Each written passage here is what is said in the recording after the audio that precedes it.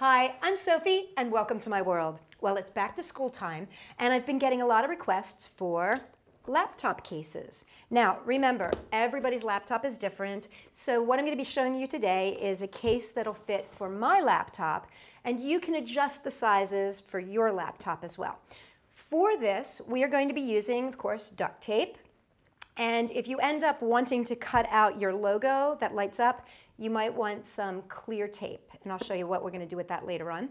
Um, you're going to want a little bit of sticky back Velcro. You're going to need your scissors. In this case, I'm going to be using my X-Acto knife. So make sure you have one of those, and if you do, you're going to make sure you have a cutting board area to work on. I'm going to be using two rulers today. I know that seems strange, but you'll understand why when you see. And I've also got my Sharpie marker and I've also got my dry erase marker. Now, if you're going to end up using that Sharpie marker, you're going to want some rubbing alcohol because that will clean the marks from your duct tape. Something new I've learned. Okay, I've also made myself a strap and this strap is 24 inches long and it's about three quarters to an inch wide. So I've made myself a strap ahead of time and I've also made my duct tape fabric ahead of time.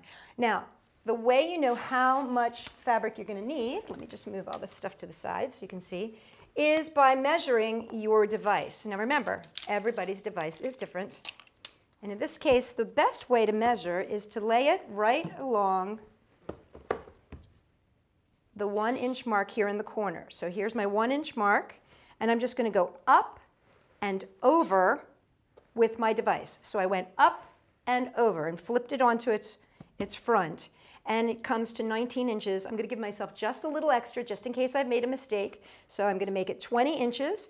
And when I look this way, it comes to 13. So I'm gonna give myself an extra inch. I always feel like it's a good thing to give yourself a little tiny bit of extra fabric whenever you're making anything. So I'm gonna be making myself a piece that is 20 inches by 14 inches.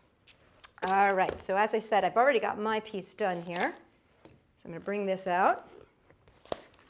And I'm going to be using the orange side on the inside and the purple side on the outside.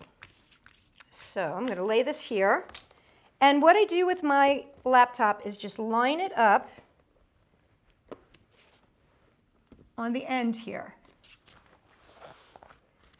And see how it's lined up right along that edge. Now what I'm going to do is I'm going to be using my either dry erase marker or my Sharpie marker, whichever one I want to use.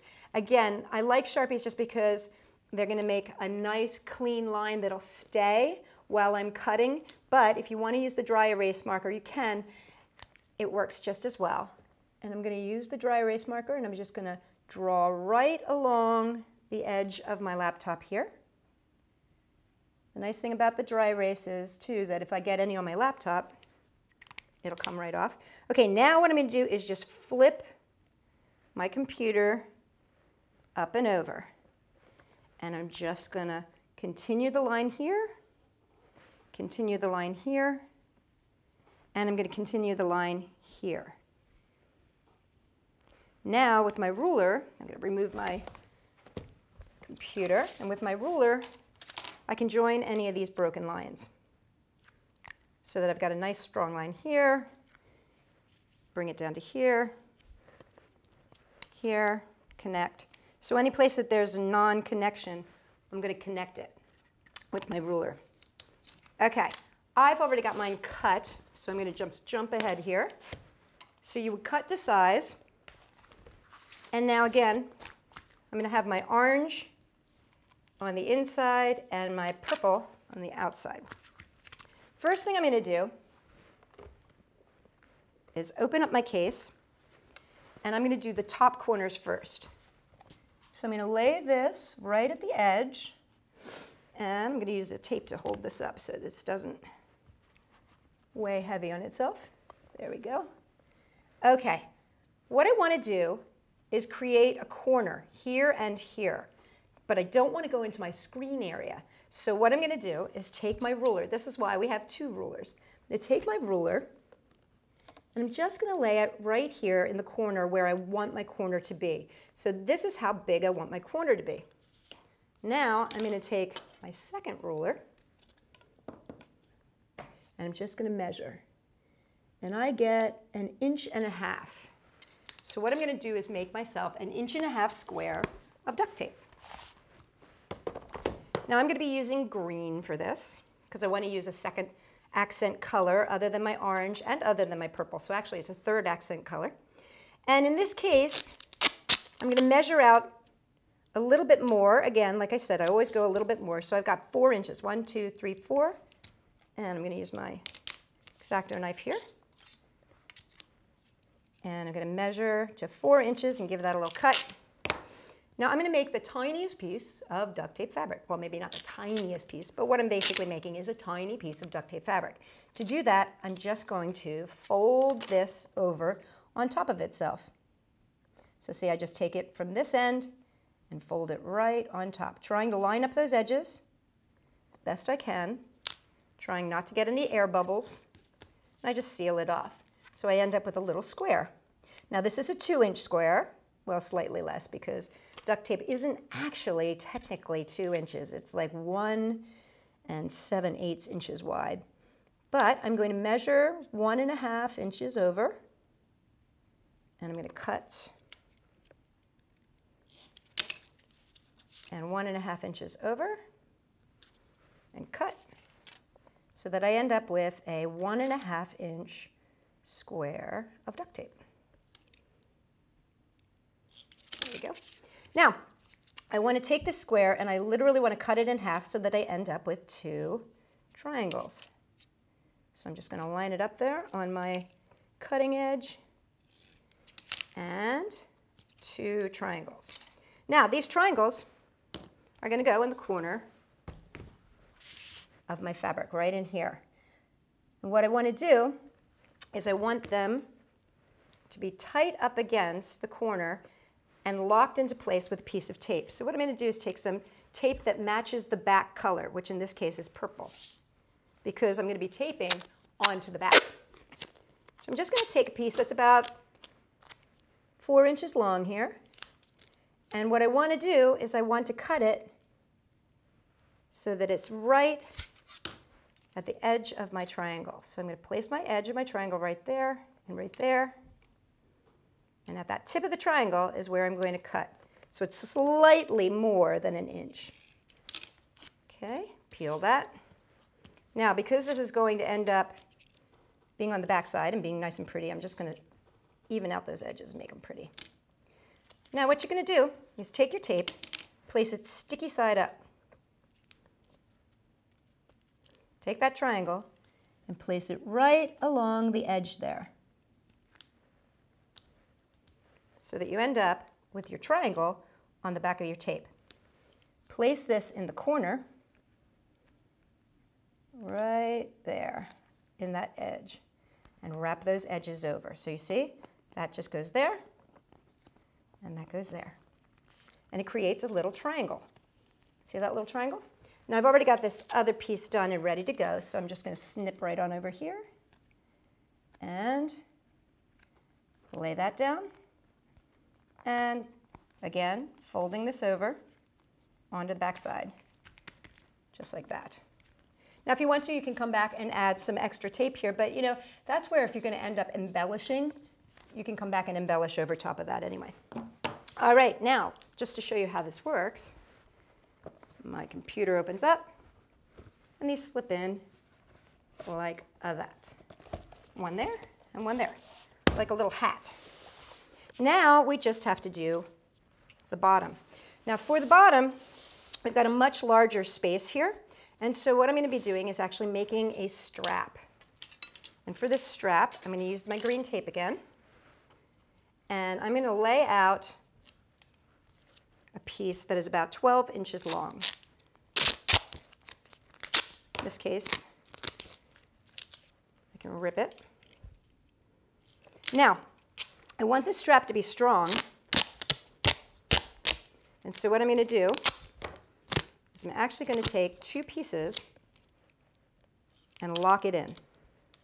So I'm going to take this one piece, turn it over. This is super sticky tape. I'm going to take my second piece here, And now I could, if I wanted to, really sticky. I could, if I wanted to, lay it directly on top. That's completely doable. And as you get better and better and better with your tape, you can do that. However, I'm going to show you a no holds bar fail-safe way of doing this. Stay. My goodness, you're sticky. This is a super sticky day. Okay. Wow. okay, let go. All right. Hold on, everybody. See? Even I end up with st super sticky situations. All right. Stay. Okay. All right, now I'm going to take this second piece, finally, whew, and I'm going to lay it halfway between the side edges, just like that. And then I'm going to take my third piece and lay it over top. This way I'm making a very sturdy, strong strap. When I go and pick this up, fold these edges over. There's no sticky edges anywhere, which is what I want for my computer. I don't want any sticky edges. So see, by doing that, I've sealed it down, sealed it nice and smooth, and I've got a really strong, sturdy strap. I'm just to trim this edge and trim this edge. Okay, now, all we have to do is place this strap in the corner like this. We're going to be taping it on the back. So I'm just going to place it here, and I've already got my other strap made. I'm going to place it here. And then you close your computer and flip it over. Now the most important thing here is to make sure that you pull this nice and tight. So I'm going to take my tape, I'm going to cut it and have it ready here.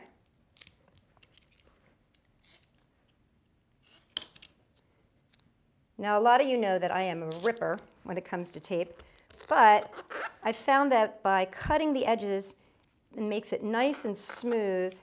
I don't have to come back so much and over embellish. Okay, so I've got that one down. And let's snip this end. And there we go. And then I want to make sure that I'm pulling nice and tight and wrapping that around.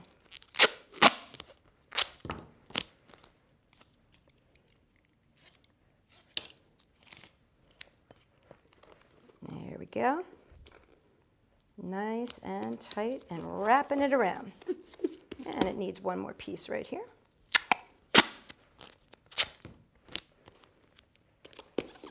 And then we're going to do the same thing on the other side.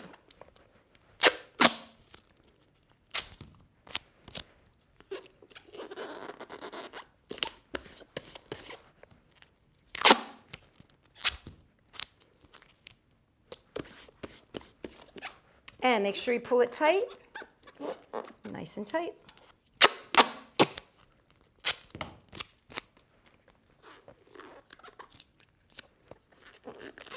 Make sure there's no bubbles there. Make sure it's nice and tight. Lock it into place here. Now, again, don't worry about the back being too even and pretty right now because you can come back and Give it a second coat of tape that's nice and smooth.